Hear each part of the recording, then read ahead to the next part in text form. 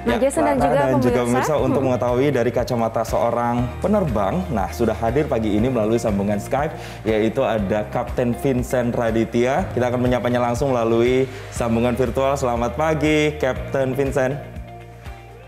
Selamat pagi. Iya, Kapten, boleh dijelaskan? Ini kan kita sedang ramai karena ma- perhatian masyarakat fokus terhadap jatuhnya pesawat SJ eh, Sriwijaya Air SJ182. Tapi kalau kita runut, sebenarnya kan kejadian jatuh pesawat ini tidak hanya yang ini. Sebelum-sebelumnya juga ada. Nah, Kapten bisa dijelaskan sebenarnya apa faktor yang paling mendorong eh, terjadinya sebuah kecelakaan pesawat?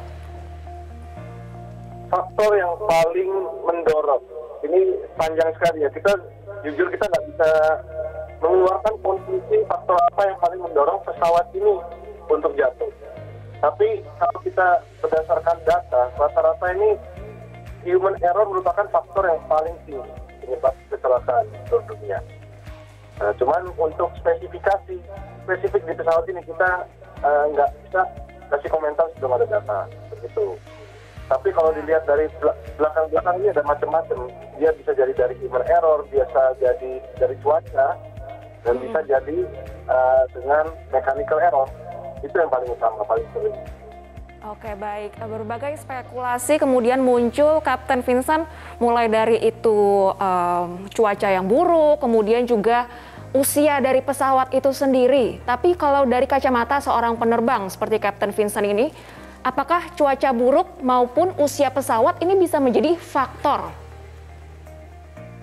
Kalau ditanya cuaca buruk, standar, ya betul, saya setuju. Memang ada kecelakaan yang terjadi karena cuaca buruk.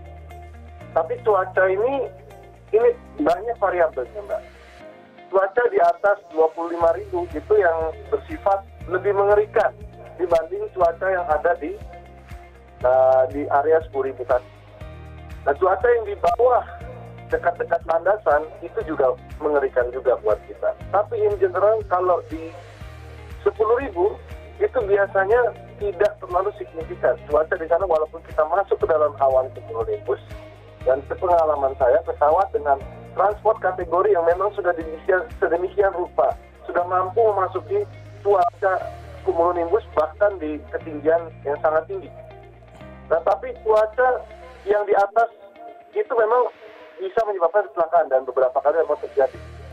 Cuma yang perlu saya sampaikan adalah di lokasi ketinggian 10 sampai 11 ribu di mana data itu yang ada dari flight radar 24 itu cenderung pada umumnya enggak tidak terlalu signifikan dari cuaca biasanya.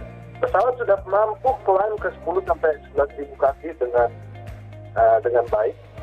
Tapi apabila pun ada cuaca yang sangat ekstrim di sana, bukanlah suatu cuaca yang mengerikan. Belum masuk ke dalam uh, suhu udara yang bisa menyebabkan es. Belum juga bisa menjadi faktor uh, ekstrim men- menyebabkan super cool liquid yang bisa membuat pesawat ini tiba-tiba blind dengan uh, dengan airspeednya dan lain sebagainya belum. Dan oh, kalaupun dimasukkan juga cuaca di ketinggian 10-11 ribu itu biasanya dia hanya goncangan semata. Ini bukan sesuatu yang signifikan. Tapi sekali lagi saya salah. Ini hanya saya berbicara tanpa data dengan pengalaman yang pernah saya rasakan. Oke. Begitu karena namanya terbang tidak bisa kita terlepas untuk ketemu dengan cuaca buruk pasti ada. Kita siapa pun pilotnya, kita sudah pinter-pinter menghalangi akan tiba suatu saat kita akan approach di sana semuanya thunderstorm, semuanya merah, semuanya kuning. Kita mesti cari jalan sebelah kiri, sebelah kanan yang lebih parah dari kemarin juga banyak Hmm. cuaca. Oke. Jadi Selain itu faktor- kacamata ya. saya. Cuaca Ya. Kapten Vincent selain faktor cuaca, ini juga tadi sudah ditanyakan oleh Clara terkait dengan usia pesawat. Bahkan banyak usia pesawat yang sudah lebih dari 20 tahun misalnya. Oh, Apakah iya. ini juga berpengaruh?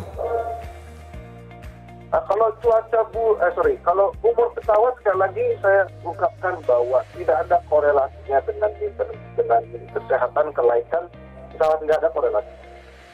Karena usia pesawat ya usia, tapi compliance pesawat itu satu hal lagi.